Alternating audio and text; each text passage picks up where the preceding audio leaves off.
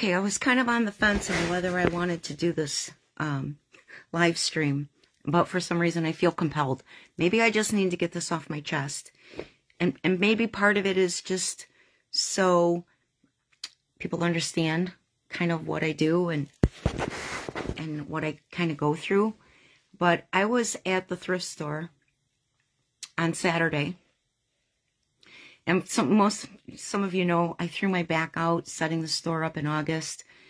I haven't had I I can't stop because the store still needs me. So I've just been kind of working through it. I don't have time to stop and heal. So I go upstairs as least often as I possibly can get away with. And when I was at the store on Saturday, um, I had been upstairs in my office and then I came back down and um, I was you know, busy doing what I do, chief cook and bottle washer, if you will.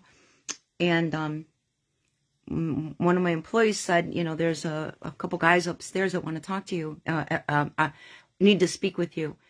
And I said, I, I don't know, can't you help them? Can can you see what they need? And um, he said, no, they said they need to speak with you. They're waiting to speak with you. And I said, well, I don't have any meetings scheduled and whatever. Anyway, they insisted on seeing me. So I go upstairs and and uh, he's in the like the antique section. He's looking at this um, antique bed, its headboard and frame and stuff. And and I said, "Can I help you?" And he goes, "Uh, there's a chair downstairs, uh, that brown leather chair." He said, um, "I said, yeah, it's thirty nine dollars." Um, one of my but the cashier had asked me what the price was because the price tag was missing but um and he goes uh are you firm on that price? And i go yeah we are. It, it, it, the prices are as marked. And he goes uh any room to negotiate? And i said no i'm, I'm sorry. It's it's pretty firm. And then he said well what about this this uh this bed and I said, well, you know, honestly, I'm not even sure that it's even priced yet because a lot of the, we just set up an antique section. I need, I need somebody to help me appraise this stuff and I don't want to pay for an appraisal. So anybody out there listening, if you have any clue on antiques, please come and help me with this because I don't want to give this stuff away and I don't know what I have. But anyway, he goes, yeah, this, this bed is marked. And I said, um, he goes, it's marked, uh, I, I thought he said $29, but it's actually marked $49. And uh, he goes, What about this? You got any room on this? And I said, Sir, I'm sorry, but the prices are as marked. And he goes, You don't barter? You don't you don't haggle? And I said, No, no, we don't. I said, Let me explain. I go, There's probably 300,000 unique items in this store. And I said, I, I employ the, the veterans that live at the shelter and I pay them $15 an hour because I want them, eh, they deserve, not that it's a great paying job, but more than I could really afford, but they deserve it all, all of that and more. and I said, it's very labor intensive to price all these items. And then I, am just not staffed and I don't have the time to come back and, and, and haggle, you know, over a few bucks. I, I really, I just don't. I'm sorry. And um, he goes, well, isn't that part of the, and he's like snotty with me, isn't that part of the uh, business that you're in? And I said, no, it's not. I said, you don't go to Salvation Army and haggle with them. And he goes, well, I do. And I go, well, good luck with that then. And I just walked away. So a few minutes later, this couple, well, they, these guys like stomp out of the store, right? Didn't buy anything. And then these, these, this couple came in right behind them. And they said these two guys as they were walking out and this couple was walking in, this this guy says to them, "Don't don't spend any money here. These people are rude and nasty." And I, I was so upset, but honestly, I, I just had to let it go because, whatever. I mean, there's just idiots everywhere. But on Sunday, he called. Now he called vets returning home, and I'm I get calls 724 so the calls forward to me when I don't have office staff on the weekends. I didn't hear my phone ring. I wish I would have because I would have loved to talk to this guy. I would have given him the mouthful that I'm going to share with you guys today, my thoughts anyway. But he leaves this message and he said, I was at your store. on Saturday, and he said, I just want you to know that um, you were absolutely rude and I will never shop at your store. And I'm going to tell everybody how awful you are. And he says, and for the record, my brother is a veteran and we were in there and we were prepared to spend at least a hundred dollars. He said, um, but you had to be so rude. And he said, and how dare you claim to be helping veterans and then being rude in the community? So here's my thought on this had I had the opportunity to say it to him. I volunteer on average about 70 hours a week. And I've been doing this for almost 10 years. In this store, I personally have now spent $131,000 getting this store set up. You know, I had to do the sign, I had to paint the inside, I had to move some walls, I had staff to carry in these 300,000 items and build shelving and all kinds of stuff. And I'm not complaining. I'm happy to do it. I'm not happy, but I didn't want to spend that much, but whatever.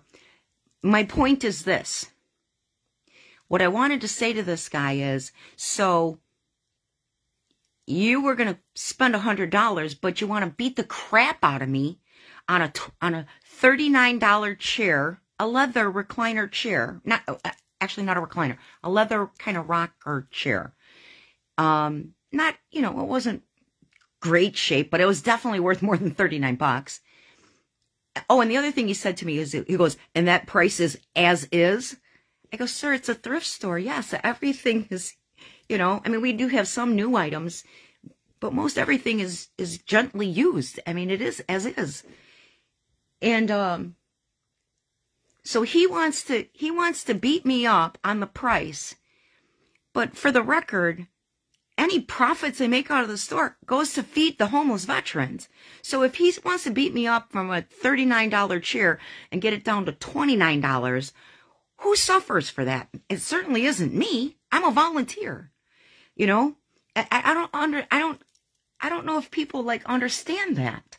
It's like he thought he was doing me a favor by beating me up on the price and and and and all he's doing is just taking food right out of the plates of these veterans that I'm trying to feed and serve over 800 meals a week out of Vets Returning Home. And and and and house 43 we have 43 beds there. Um what I really wanted to say to him is, you know what? In 10 years, I've housed almost 2,000 homeless veterans. I, I spent my entire retirement account setting up Vets Returning Home. And now I get over a hundred grand trying to launch the store so that we have, you know, the financial revenue stream, continuous revenue stream, and I don't have to go out and beg money every month to keep the doors open. You know, what I do is hard and, and I, I just get frustrated when, you know, you, I, I can't please everyone. And I, I guess, I don't know. I am looking for feedback. If anybody has any suggestions or am, uh, you know, am I wrong here? Because I, I just, I don't know. I don't know what I'm missing, but that I, this, I don't think I've been this angry. I don't remember. I don't remember. I just thought it was disgusting. And now this guy's like throwing it back on me and now he's going around you know, chasing customers away and, you know, threatening to trash us all over town, whatever. I mean, he's not going to hurt the big picture of things, but it just, it's bothersome. Um, somebody's asking for the address of the store, and I don't know it. Uh, it's on Gratiot, about three or four blocks north of 12 Mile on the left side, three doors down from the Roseville Police Department. Huge red awning. And um, thank you for your interest. Um, I, I'm not doing this for the record. I'm not doing this post to, to, to gain more awareness, although that is good for the store and it is good for the vets, so I'll take it. But that's not what this is about. It's not to promote the store. It's just, you know,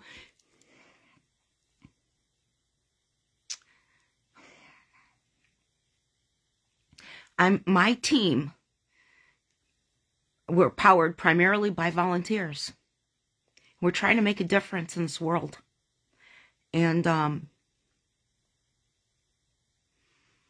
You know, sometimes we're not perfect. I can't cross every T and dot every I when I'm running a hundred miles an hour. Sometimes it's like a, being a bull in a china shop and we're doing the best we can. And, uh, I don't know.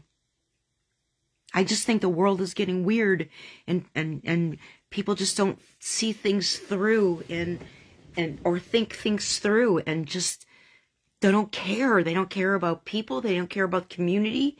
I, and I, and I'm, I know that those of you that are listening are my followers and our supporters and you guys do everything you can to help. And I thank you for that from the bottom of my heart. And this is not directed at you. It's truly is just my, my rant and I'm upset. And thank you for letting me vent. Um, hope all is well and pray for us and pray for our veterans. Thanks.